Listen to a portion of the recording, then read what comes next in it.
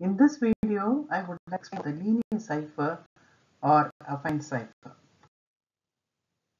In a cryptography, we have a plain text and we convert that into a ciphertext using a key and the encoded ciphertext with, can be decoded as a plain text as original message using another key.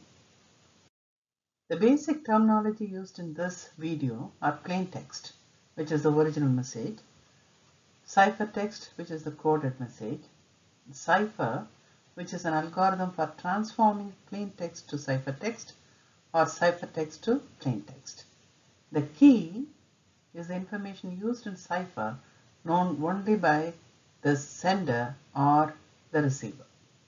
The encipher or encrypt is the process converting plain text to ciphertext. Decrypt or decipher is the process recovering ciphertext from plain text. The cryptography is the study of encryption principles method.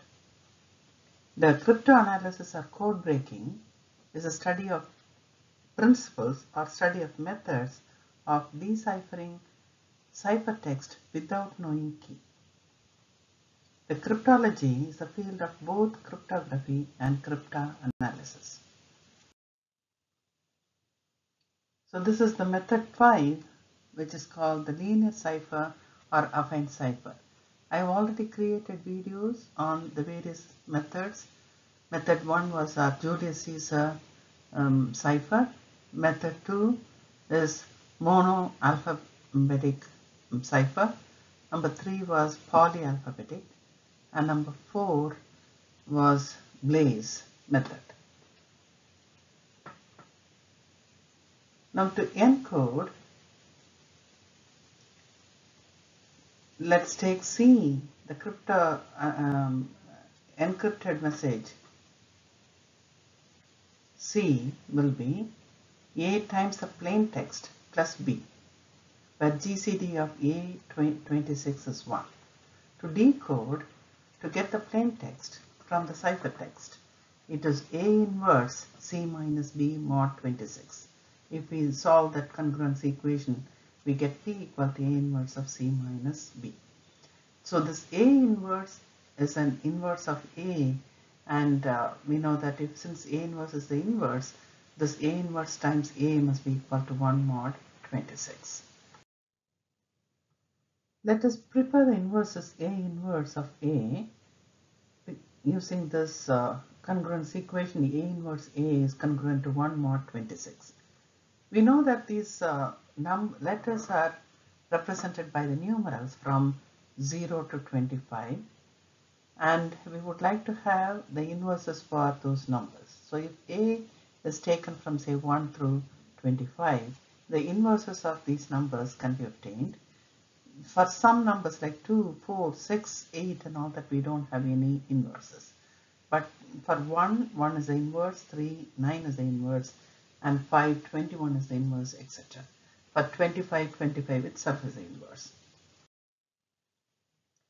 So if C, the ciphertext, is congruent to 5 times the plain text P plus 11 mod 26, and if you are in, interested in encrypting the message number theory is easy, let's use P values. The P, uh, the plain text that is the numerals for number theory is easy. Those alphabets in number theory will, uh, is easy will be those numbers 13, 20, 12, etc. Now using that congruence equation 5p plus 11 we can find the value for C 5 times 13 plus 11 5 times 20 plus 11 etc. So those are the numbers given in the third row. You can convert that into a modular arithmetic mod 26. So 76 is the same as 24 mod 26. 111 is 7 mod 26 etc. Then the corresponding letters of these numbers can be taken and that will be the encrypted message for number theory is easy. Now to decrypt, let us take another example. Let's take C equal to 3P plus 7. So if C is 3P plus 7, to solve for P, we need to multiply by the inverse of 3, which is 3 inverse. So P would be 3 inverse of C minus 7, but we know that the C inverse is 9 from the previous list what we have calculated because 9 times 3 is 27 which is congruent to 1 mod 26. So 3 is inverse of 9 and 9 is inverse of 3. So 3 inverse is 9 here. So let's make use of the last congruence equation P congruent to 9C minus 7. We are going to decrypt this message. So using the numerals, we can write down the value for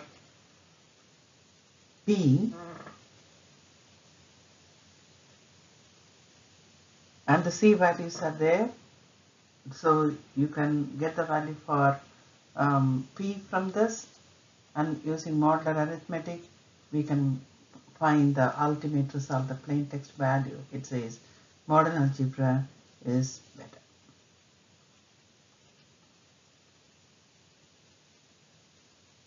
So modern algebra is better is the answer for this question. So this video helped us to understand the linear cryptography or affine method in cryptography. Hope this video was helpful. Thank you for listening and thank you for watching.